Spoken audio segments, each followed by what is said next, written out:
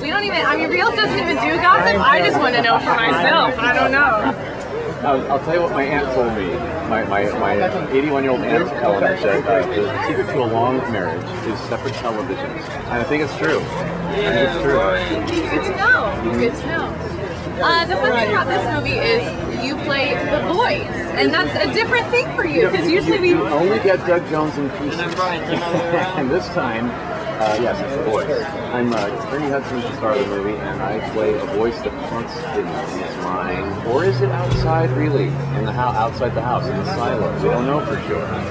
So, uh, yeah, that was uh, fun. The director and writer, Phil Donlon, is a very dear friend of mine. And he, uh, he, uh, he's very sweet. You know, once once he saw a couple of voices get taken away from me, I was like, he said, you know what, I'm going to write something for you to be a voice in, darn it. So, uh, That's a good friend. it's a good friend, yeah. But now your voice will be used in Hellboy 2, right? Hellboy 2, you'll be hearing me as Abe Sapien as well as singing as Abe Sapien, yeah.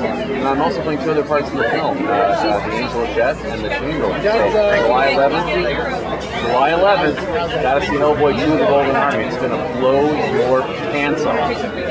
What will fans of Is that a good thing? I don't sometimes I guess. What will fans of the first Hellboy? I mean, is it is it totally different? Or is it- It's totally different. It's totally better, actually, than the first one. Um, um, the fans from the first movie will get more, uh, uh, uh, more BPRD team time, like more buddy time between Abe and Hellboy and, and, and Liz Sherman and Tom Manning, our you know, Jeffrey Campbell, who's like, I love, love you, Jeffrey. Uh, uh, more, more interaction between all of us, more brother sister time among us as a family, and um, you'll get more action. And my, my, I, have, I get to take a weapon this time, more action with the bad guys, and uh, the love interest. It's a little, a little elven princess. Her name is Princess New Oh, you're the director. and uh, played by Anna Walton, a beautiful British actress who is long and leggy and roomy, and all that. She and Abe found each other uh, as great kindred souls. That's like a good It's uh, D O N L O. Yep.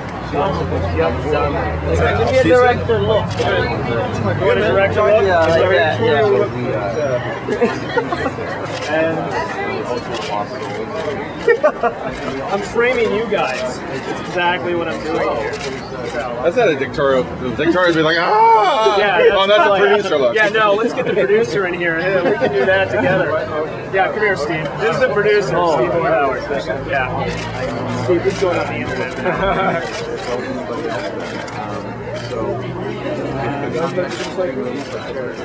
Steve, Doug, and, and gentleman right in front of you. Going to be using it again? I don't know. I think so.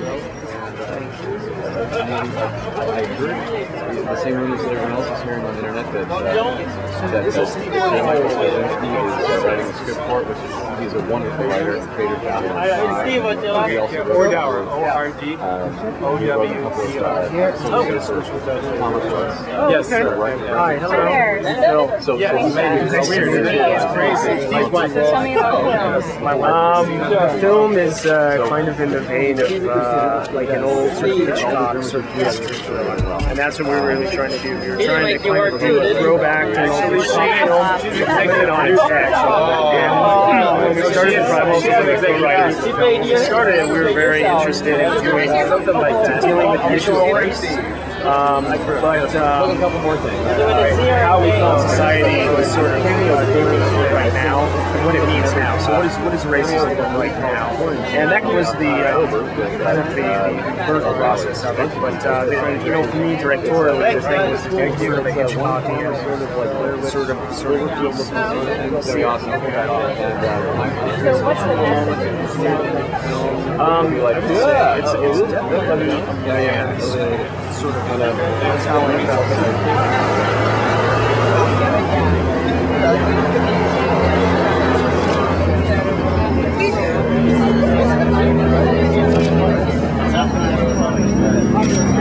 I, the way I shot it, the way um, the film actually started starts tight and it opens up at the end shots. So the idea was in, in most films is that it starts big wide shots, like New York City, you know, whatever, you know, zoom in on your story. So you're going to start here, and the mind, going to open up as the character. So, um, so the message of this film is sort of like follow the mind, and uh, how paranoia can really sort of uh, get to you, and uh, what that looks like. So, sort of in the style of like a Raging Bull, something like that.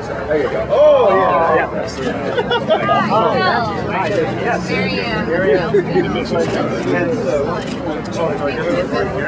Am I going on now? No, I was called producer Steve Nordhaus. Nice to meet you. It might go closer. You have a lot of friends uh, in this industry. Great question. What I hope people uh, take away from this film really is something that is not in the conventional norm that we see uh, movies made in. This is a very unique film. Phil Donlon, the director, uh, working with him has been a unique experience because he's really a true artist and a real true filmmaker in every sense of the word, in my humble opinion. I produced it, someone else did it. So we spent That's what I'm saying. about you know six months in a very dark room dealing with a very dark subject. It was very intense. Um, so the way it was visually, um, the way it uh, appears visually, the way it was shot was very unconventional.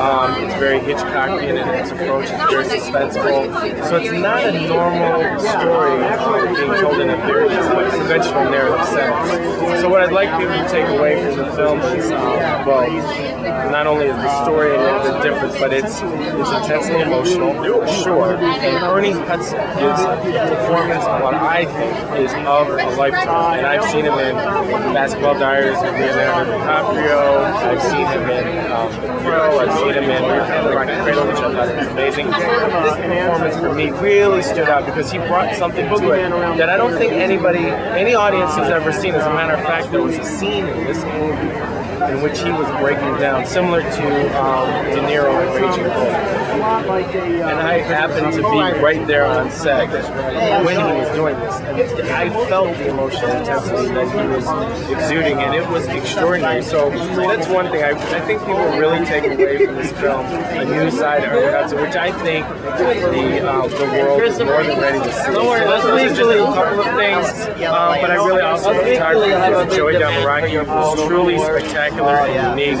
And with Phil combined with um, his aesthetic sensibilities with Joey, mine as an editor, I mean, I think just the, with the chemistry between us is very unique and special, and you don't find that every day, and that's why people in filmmaking tend to stay with each other for a long period of time. So I hope that answers the question a little bit.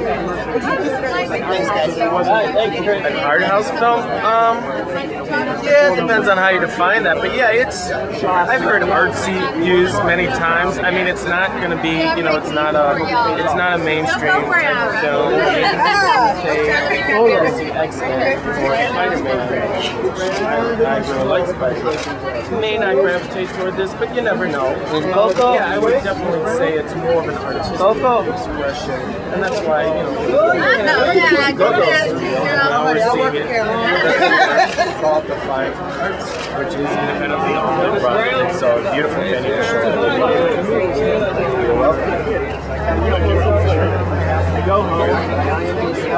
You know, I really should big watch it. I call Steve. I'm like, who's in here, Steve? Good news. All